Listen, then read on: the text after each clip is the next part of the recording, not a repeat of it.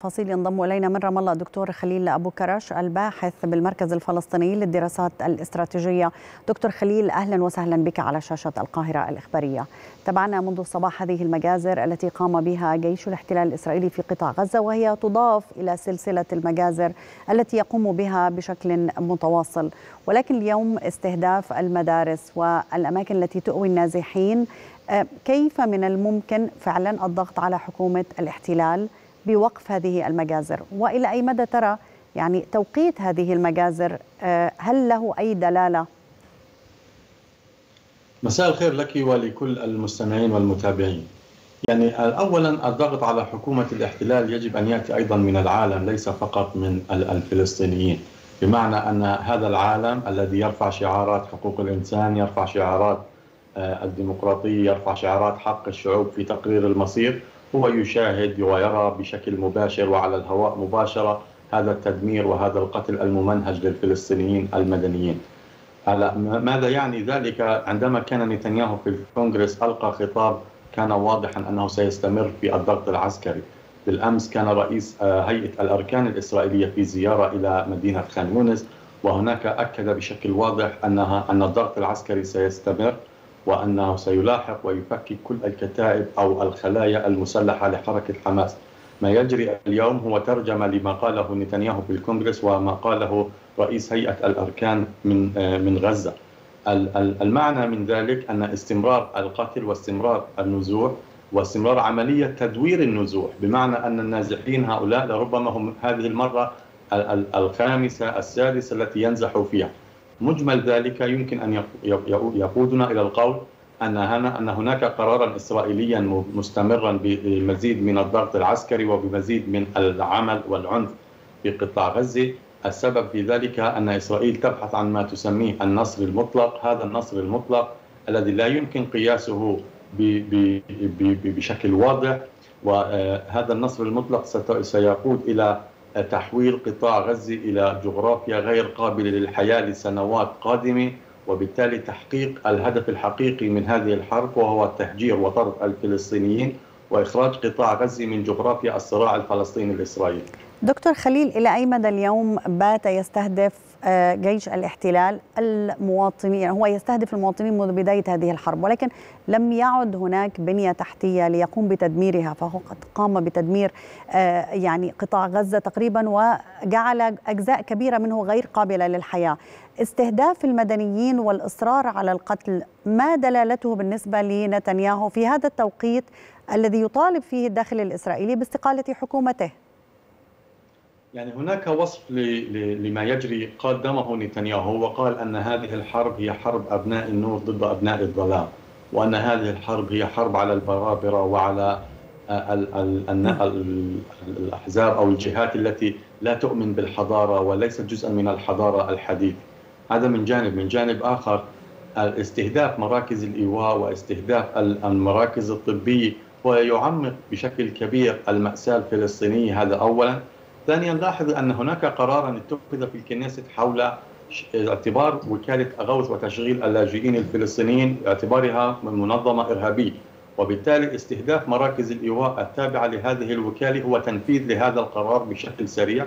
ومحاولة لشطب قضية اللاجئين كما تعرفي 70% من سكان قطاع غزة هم من اللاجئين. وعندما يتم استهداف الأونروا ويتم استهداف مراكز الإيواء عمليا يمكن القول أن ذلك يقود إلى شطب محاولة شطب قضية اللاجئين وإزاحتها عن الصراع وإزاحتها عن النقاش المستقبلي الذي كانت هي إحدى القضايا المركزية الخمسة في إمكانية الوصول إلى سلام مستدام وسلام عادل في هذه المنطقة. هذا هو الترجمة الحقيقية للفعل الإسرائيلي.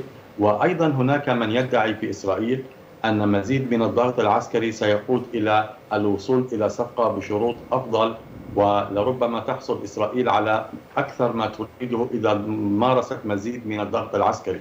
هذا ما يقوله نتنياهو وهذا ما يقوله أقطاب الحكومة اليمينية المتطرفة في إسرائيل. لا يؤمن بإمكانية الذهاب إلى صفقة لا يريد صفقة وإنما يريد مزيد من القتل ومزيد من الدم ومزيد من الاستهداف. للمدنيين للكبار وللصغار للشيوخ وللأطفال.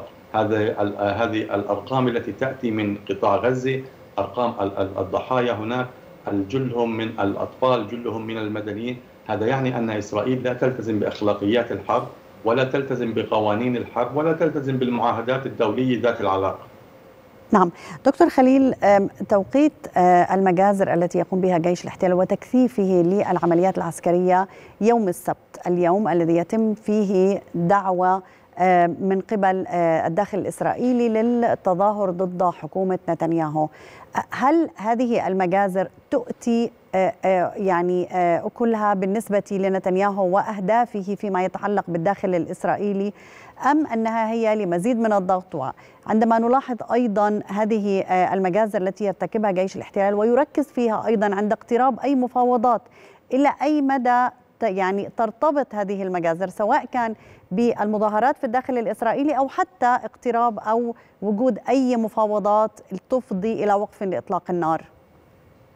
يعني لاحظي أن التظاهر في إسرائيل أو المتظاهرين في إسرائيل هناك نوعين من المتظاهرين. هناك المتظاهرين الذين يعتقدوا أن هذه الحرب يجب أن تستمر ولكن يجب أن يكون هناك صفقة تؤدي إلى عودة المختطفين والرهان وبالتالي العودة إلى الحرب والقتال مرة أخرى. وهناك المتظاهرين الذين يعتقدون أن هذه الحرب أساءت إلى إسرائيل أكثر بكثير مما جلبت النفع وبالتالي يجب وقف هذه الحرب بشكل نهائي والعمل على ترميم صورة إسرائيل على المستوى الإقليمي والمستوى الدولي.